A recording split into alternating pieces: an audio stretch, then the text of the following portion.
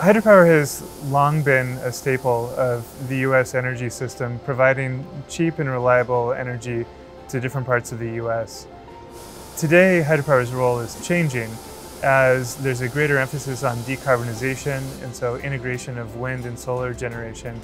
What we're doing here is we're showing that small hydropower that is more integrated with local communities can also provide Black Start services to those communities in the event of an emergency situation where the regional grid isn't available.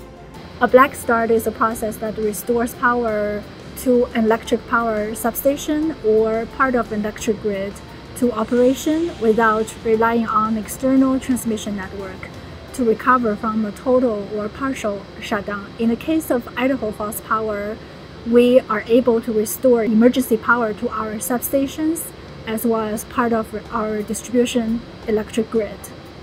Blackstart is a service that most customers have probably never heard of, um, but yet it's a kind of an essential part of ensuring a resilient grid. And I like to think of it as kind of an insurance policy against the worst effects of a blackout.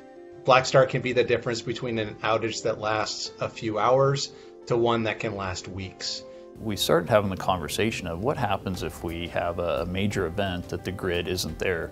Can we at least provide power to our community from our own local facilities? So we started you know, having conversations with the Idaho National Lab. INL's unique capability in this regard is to integrate that physical hardware, for example, the ultracapacitor system, with a digital model of Idaho Falls Power system in order to understand how the new hardware will interact with the existing system.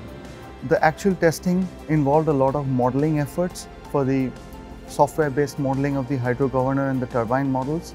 So in one way we were trying to get all the information we had into the software so that we can test out the actual behavior of the system that we would see in the plant when we went out for our field demonstration. So this entire process of uh, developing the model and the hardware in the loop simulation involved like multiple step. Uh, first, we have looked into the, the actual uh, modeling effort. So that model has been uh, tested offline on the software and then it has been incorporated through the digital real-time simulation. So ca it can interact with the hardware, the ultracapacitor energy storage system and we can see how it behaves. A few things had to happen for the field demonstration to occur. One, we had to rent a load bank. What the load bank does is it enables us to simulate those critical loads on the system.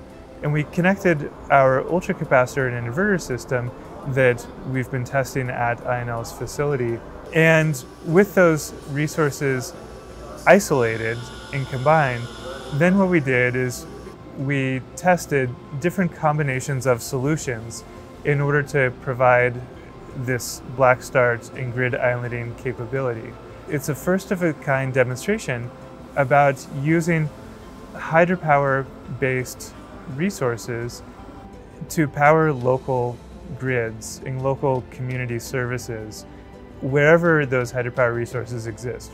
In the near term, we're going to spend the next several months analyzing the data to extract all the insights we can about the relative contribution of improved hydropower controls, connecting multiple small hydropower plants together, and adding in this ultracapacitor and inverter system, as well as potentially other types of energy storage like lithium-ion batteries, flow batteries, etc., in order to enable this capability for not only Idaho Falls Power, but other communities that also have hydropower resources as well to know um, as city leaders that our utility can be um, resilient through uh, any kind of disruption in power. We can take care of people and have all of those essential services being provided. That's huge. The demonstration project definitely communicated that we're there.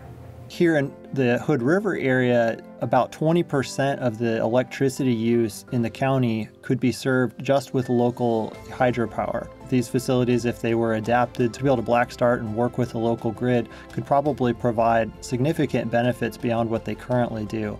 What we've done here with Idaho Falls Power is shown how these local communities with their own generation assets can achieve these multiple objectives decarbonization, reliability, and resilience at the same time that we're ensuring affordable electricity for all Americans.